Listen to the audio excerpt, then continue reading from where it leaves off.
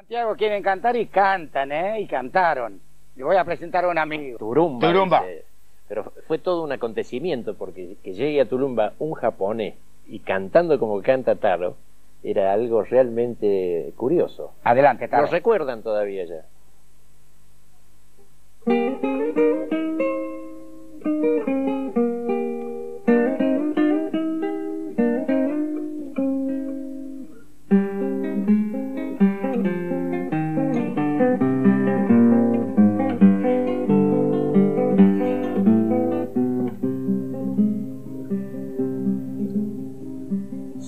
Sueño de payador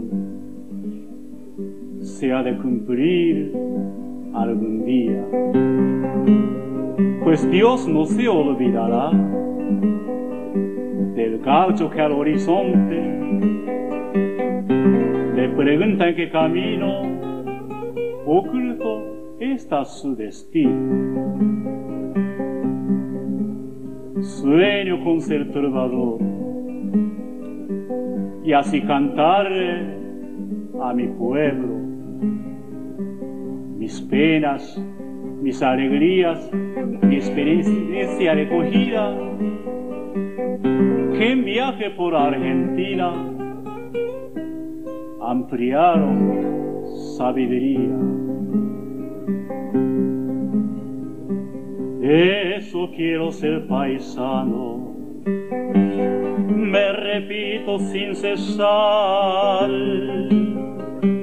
un payador que a caballo fue recorriendo mis pagos, cantándole a mis paisanos historias de vida. Siempre mirando adelante. Voy derecho hacia mi sueño, ser payador japonés. Me hará feliz y cumplido, junto a mí va mi guitarra, cantando por los caminos. Como el arroz de mi pueblo es mi sueño payador. Quiero ser ese cantor que gozando por la vida cante a mi gente querida historia por mi vividas. Que Don Atahualpa guíe mi destino trovador pues siguiendo su buena estrella, el camino encontraré. Tarotacano les canta, soy payador japonés. Aplaudimos fuerte a Taro Tacano, sí.